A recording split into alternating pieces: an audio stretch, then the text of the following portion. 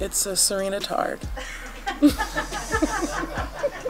we design really far in advance at Nike and I knew that I um, been working really, really hard in the off season to be incredibly fit and incredibly ready. And, uh, you know, I took a year off and still trying to get 12 months under my belt of playing actually.